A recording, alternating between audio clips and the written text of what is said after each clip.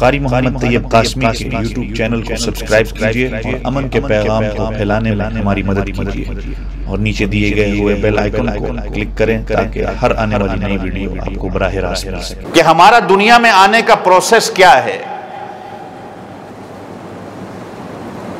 मर किस किस मरहले से हम गुजरते हैं?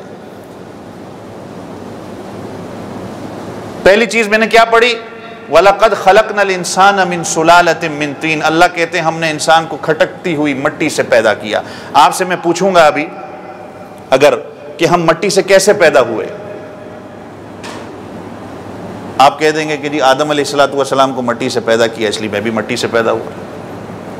बाबा, हर इंसान मट्टी से पैदा हुआ है।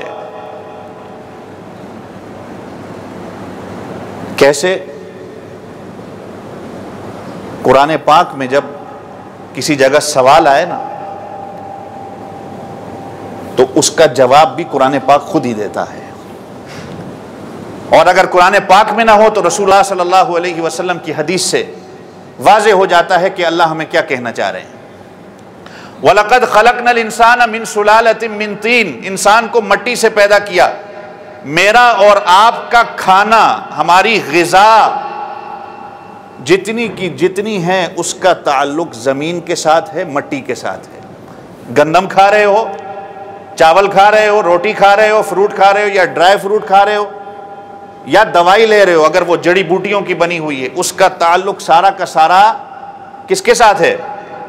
ज़मीन के साथ है, मट्टी के साथ है, सब कुछ मट्टी से आया है। हती कि अगर हम जो पानी भी पीते हैं, वो भी मट्टी से आया है, वो भी ज़मीन से आया है। आप कहें कि एक बंदा कहे कि मैं तो बारिश का पानी पीता हूँ तो बारिश का पानी बनता कैसे है? ज़मीन से आबी बुखारात बनते हैं तो जाके वो बादल बनता है।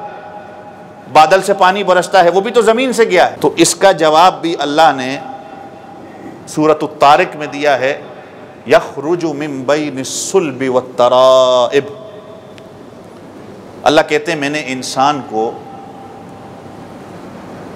उसकी माँ की छाती से और उसके वालिद के कमर के पानी से पैदा किया है। यखरुजु मिम्बैन सुल्ब कहते हैं ये कमर को और तराइब छाती यहाँ से हमने पैदा किया। हमारे माँ बाप इसी ज़मीन से खाते हैं, पीते हैं, जिसके बाद अल्लाह उनको एक कुवत देते हैं और उस कुवत के बाद औलाद पैदा होती है। इस ज़मीन के अंदर से जो है उनको खुराक मिली है, गज़ा मिली है, जिससे कुवत पैदा हुई और कुवत जब मिलती है तो फिर औलाद आती है। आज अगर अरब के सहरा से खजूर निकलती है और हमारी प्लेट पे आती है तो अल्लाह रब्बुल इज़्ज़त की कसम है, अगर हमारे नसीब में वो लिखी होती है तो अल्लाह ऐसे वसाइल पैदा करते हैं कि वो हमारे मुँह के अंदर आएगी और हमारे दांतों के नीचे आएगी।